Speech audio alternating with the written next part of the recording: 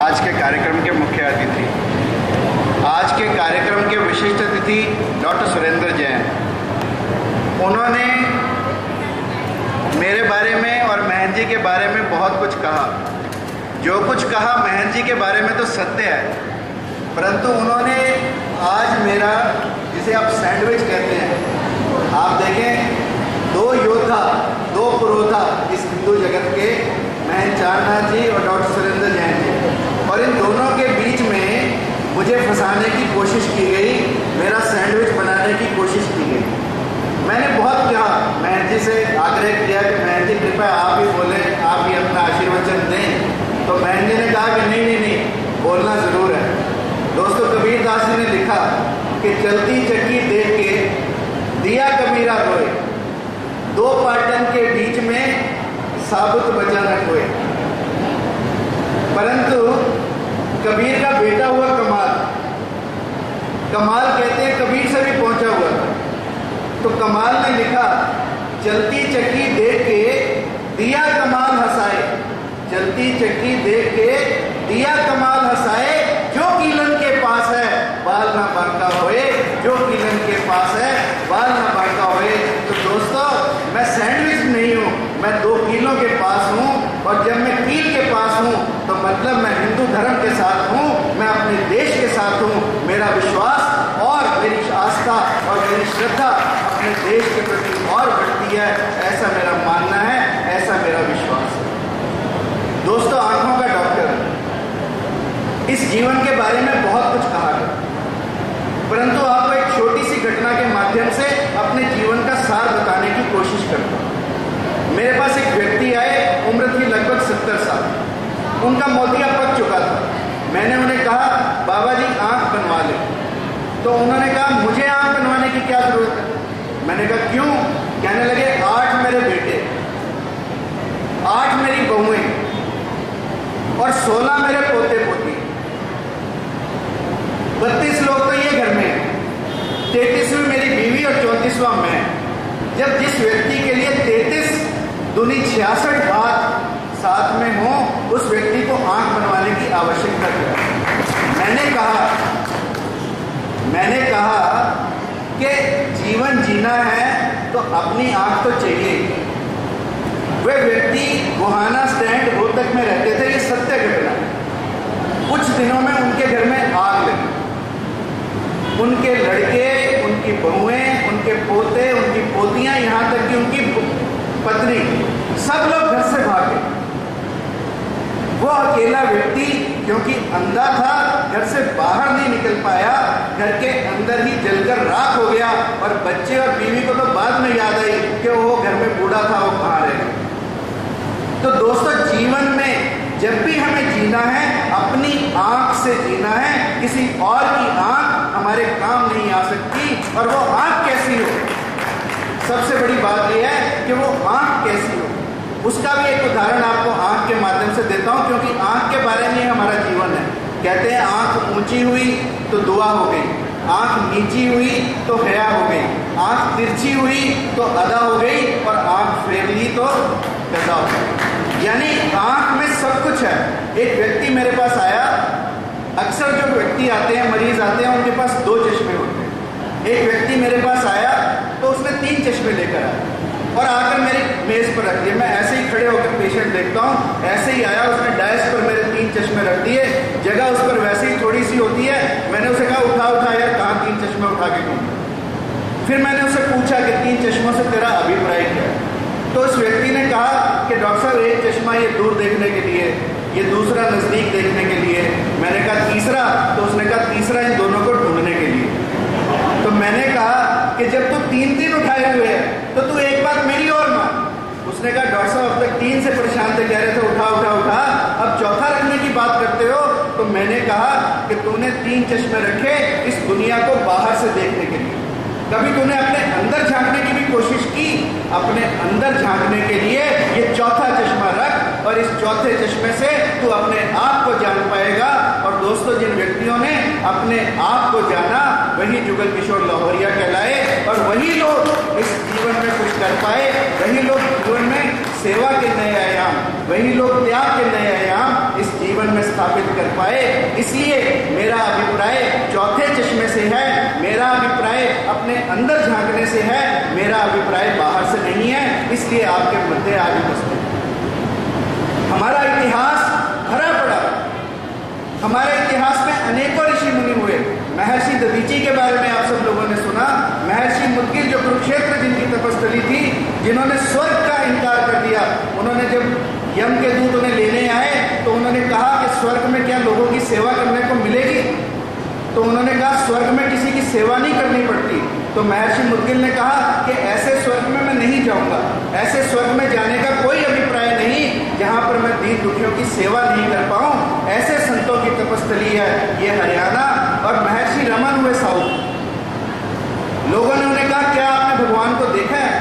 तो दीन दुखिया की सेवा करना ही भगवान को उन्होंने माना। उन्हें कहा कि भगवान को देखा है तो उन्हें दीन दुखियों की सेवा करने के लिए ले जाते और कहते कि यही भगवान है। तो दोस्तों, जिन लोगों ने सेवा की, हमारे देश के इतिहास में मैंने महर्षियों का आपको उदाहरण दिए, अनेकों राजा महाराजा हुए। राजा दिलीप, जिसने गो की सेवा के लिए अपने प्राणों को निछावर कर दिया। राजा रघु, जिनके नाम पर रघुकुल रीत सदा चली आई, प्राण जाए पर वचन न जाई, राजा रघु ने एक ब्राह्मण को दीक्षा देने के लिए कुबेर चढ़ाई कर दी। मयूर ध्वज जैसे लोग जिन्होंने अपने वचन को रखने के लिए, अपने सिर को, अपने बेटे को आरे से कटवाने के लिए तैयार हो गए। ऐसे ऐसे राजाओं का इतिहास हमारे देश में रहा है और केवल महर्षि और राजा ही नहीं, इस देश की जीव जंतुओं ने भी जब समय पड़ा, इस देश की सेवा की, इस देश के लिए अपने प्राणों को निछावर किया। जटायु का उदाहरण, रामायण में हम हमेशा पढ़ते कि जटायु ने अपने प्राणों को रोके रखा और जब भगवान राम वहाँ पर पहुँचे जटायु ने उन्हें बता दिया कि रावण सीता को उड़ाकर ले गया भगवान राम जटायु को जीवन देना चाहते हैं, अपनी गोद में रखा, उसको जीवन देना चाहते हैं, परंतु जटायु ने कहा कि इससे अच्छा जीवन और क्या हो सकता है कि मैं प्रभु की गोद में अपने प्राणों को भी विसमृत करूँ, इससे बड़ा और मेरे लिए क्या हो सकता है? तब तुलसीदास जी ने इस मार्मिक घटना का उल्लेख किया और लिखा, तात करम निज ते गति पाई, तात करम निज ते गति पाई, परहित बसा जिनके मन माही, तैकू इस जग में कछु दुर्लभ नहीं। उन व्यक्तियों को इस जग में कुछ भी दुर्लभ नहीं है। जिन व्यक्तियों ने परहित की भावना जिनके अंदर बसी है और रामायण का एक और उदाहरण है कहते हैं कि हनुमान जी जब समुद्र लांग रहे थे तो मिनाक पर्वत समुद्र में से ऊपर आ गया निर्जीव समुद्र। बीच में से ऊपर आया और हनुमान जी को कहने लगा कि हनुमान जी, आप थक गए होगे। अच्छे काम के लिए जा रहे हो। कुछ समय के लिए विश्राम करो। गिलहरी ने, आपने देखा गिलहरी ने, एक गिलहरी छोटी छोटी जब पुल बन रहा था तो गिलहरी आकर बार बार रेत में निपट कर समुद्र में जा रही थी, क्योंकि गिलहरी चाहती थी कि उसका भी नाम पुल बनाने वालों में जोड़ा जाए। इसलिए गिलहरी ने भी इस देश की आवश्यकता पड़ी, अपने प्राणों की परवाह न करते हुए इस समाज की, इस देश की सेवा की। हम सब भी मिलकर इस देश की सेवा करें। इन्हीं शब्दों के साथ परंतु एक बात आप लोगों को कहना चाहता हूँ कि सेवा बहुत लोग करते हैं। परंतु सेवा करते करते हमारे अंदर अहंकार उपस्थित ना कि ये काम मैंने किया। ये मैं हमारे अंदर ना पैदा हो, क्योंकि मैं दोस्तों कभी किसी का रहा नहीं। हनुमान जी के अंदर भी कहते हैं, एक बार जब समुद्र लांग गए, सीता के बारे में पता कराए तो कहते हैं उनके अंदर भी अहंकार आ गया था, पर कहते हैं समुद्र पूजन से पहले भगवान राम ने कहा कि काशी से एक शिवलिंग ले आओ, पूजा करेंगे और फिर उसके बाद चढ़ाई चढ़ेंगे।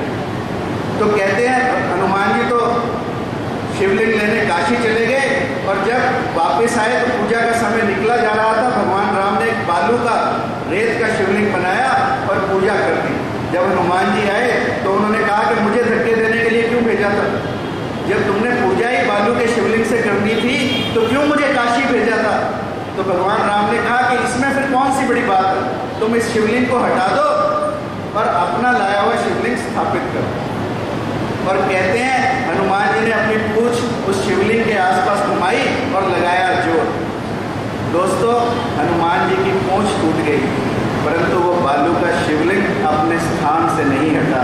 हनुमान जी की पूछ नहीं टूटी थी हनुमान जी का अहंकार टूटा था और उस दिन से हनुमान जी ने अपने अंदर सेवा भाव को पैदा किया और हनुमान जी ने कहा कि अब से निष्काम सेवा भाव, निष्काम सेवा वृत्ति जो परमात्मा की करेगा, वही अपने जीवन में सफल बनेगा, उसी का जीवन साकार होगा, उसी का जीवन श्रेष्ठ बनेगा। और इसीलिए मैं बार बार कहा करता हूँ, गमों की आँच पर, गमों की आँच पर आँसू, क्योंकि आँखों का डॉक्टर हूँ, फिर आँसू की बात करूँ। गमों की आँच पर आँसू उबाल कर देखो, बनेंगे रंग किसी पर डाल कर देखो, तुम्हारे दिल की पीड़ा भी कम होगी ज़रूर। किसी के पाँव का कांटा निकाल कर देखो, किसी के पाँव का कांटा निकाल कर देखो। इन्हीं शब्दों के साथ आप सबने मुझे इतने प्यार से, इतने सम्मान से यहाँ पर बुलाया, मेरा इतना मान सम्मान किया। उस सब के लिए आप सबका विशेष रूप से डॉक्टर कमल गुप्ता, जो हमारे सीनियर हैं, जिनकी उंगली पकड़कर हम डॉक्टर जिन्होंने हमें आगे बढ़ना सिखाया, जिन्होंने हमें सीधे रास्ते पर डाला, उनका बहुत बहुत आभार, बहुत बहुत धन्यवाद। और आप सब लोग इतनी गर्मी में बैठे, इतने प्यार से आप सब लोग हम सबको सुन रहे हैं, इसलिए आप सबका भी बहुत बहुत धन्यवाद। मैं एक बार शुरू में कहीं बोलने गया तो जैसे ही मैं बोलने गया तो उसने बोलने, एक चौकीदार बैठे था, उसने कुंडी बंद कर मैंने कहा, भाई, कुछ लोग लेट भी आएँगे तो उन्हें आने दे।